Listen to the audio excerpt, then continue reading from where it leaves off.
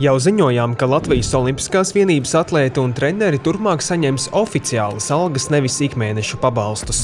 Latvijas Olimpiskās vienības augstākā zelta sastāvā dalībnieki turpmāk saņems no 1450 līdz 2000 eiro mēnesī, bet viņu treneri no 800 līdz 1850 eiro mēnesī. Latvijā elites atlētus pēc uzrādītiem rezultātiem iedala zelta, sudraba un bronzas sastāvos, bet Igaunijā ir četri atbalsta līmeņi. Prestižākā A līmeņa stipendija ir divreiz lielāka par Latvijā piešķirto un varie no 2500 līdz 4000 eiro bet elites sportistu treneriem pienākas 1800 eiro. Jaunatnes sastāvdaļu dalībnieki var saņemt 250 eiro stipendiju. Tomēr Igaunija pēc Parīzes Olimpiskajām spēlēm plāno sašaurināt jaunatnes stipendijātu loku, paaugstinot vecuma cenzu no 14 uz 18 gadiem.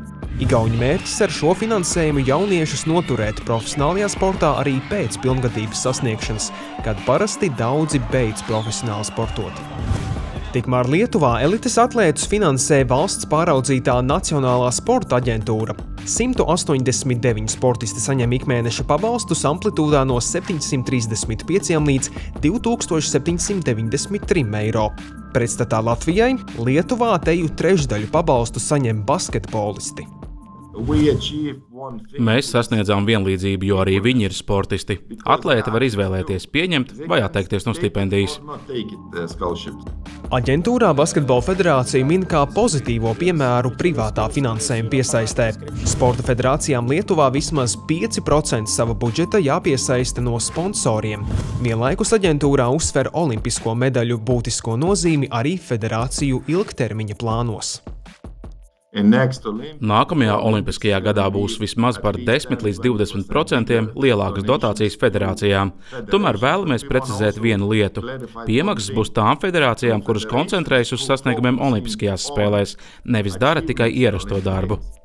Sporta aģentūras direktors atklāja, ka Lietuva, līdzīgi kā Somijā un Norvēģijā, plāno noteikt gada ienākumu slieksni 200 tūkstošus eiro, kuru pārsniedzot, sportisti nevarēs iegūt valsts stipendiju. Šobrīd Nīderlandē vairāk nekā puse elites atlētu saņem valsts ikmēneša stipendiju, kura ir minimālās algas apmērā līdz 2123 eiro. Toties katrs piektais Nīderlandes vadošais sportists gūst ienākumus arī privātā klubā. At, um, at finances... Ja raugāmies uz finansējumu, var redzēt to, ko devējam par globālo sporta medaļu bruņošanās sacensību, kas aizvien pieaug un pieaug. Redzam lielāku konkurenci starp valstīm un ievērojam, ka šī pieaugušā konkurence ir saistīta ar investīciju kāpumu elites sportā. Profesors atzīmē, ka privātais finansējums elites sportā ieņems aizvien lielāku lomu. Vienlaikus pēdējo gadu laikā Nīderlandē uzsākta valstiska iniciatīva, kura aicina vadošos atlētus rādīt priekšzīmi, viesoties skolās un vadīt iedvesmojošas mācību stundas. Vanderroists piebilst, ka šobrīd valsts joprojām akcentē sporta veidus ar lielāku medaļu gūšanas iespējamību, tomēr notiekot pārvirze sabiedrības labuma virzienā. Beļģu pētniece Vērle de Bošera pirms 20 gadiem izveidoja starptautisko tīklu elites sporta pētniecībā. Pētniecības galvenais mērķis - uzzināt efektīvākās pieejas panākumu sasniegšanā. Starp naudu un medaļām ir tieši saikne. Vairāk naudas nozīmē vairāk medaļu. Mums nepatīk to dzirdēt, bet tā ir taisnība. Valstīm ar lielāku finansējumu ir arī vairāk medaļu. Startautiskajā pētījumā secināts, ka pirmkārt finansējums nosaka panākumus, taču to negarantē. Otrakārt, valstis ar efektīvu sporta sistēmu dara vairāk ar mazāku finansējumu. Treškārt, tautas sporta un talantu attīstības veicināšana nevienmēr ir īstermiņa prioritātes, bet var sniegt ilgtermiņa konkurētspējas priekšrocības. Ja agrāk valsts domāja, kā mēs varam izcīnīt vairāk medaļu, tad šobrīd valsts domā arī par to, kāpēc mums vajadzētu iegūt vairāk medaļu, kāpēc sabiedrībai ir svarīgi izcīnīt vairāk medaļu. Elites sporta attīstībā nozīmīgs stūrakmens ir jaunatnes un tautas sporta sekmēšana. Ja būs masveidība, tad tik un tā parādīsies kāds dārgakmens augstu sasniegumu sportā.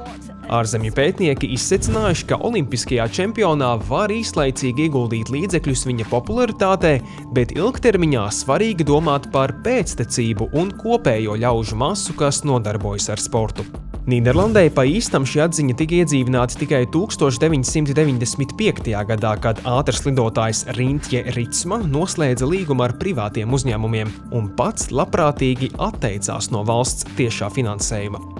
Latvijas sporta apmērus gan nevar salīdzināt ar Beļģijas un Nīderlandes iespējām, bet arī mūsu vidē ir vairāki spilgti atlēti, kuri iemācījušies pārdot sevi atbalstītājiem un uzrunāt lielas ļaužu masas.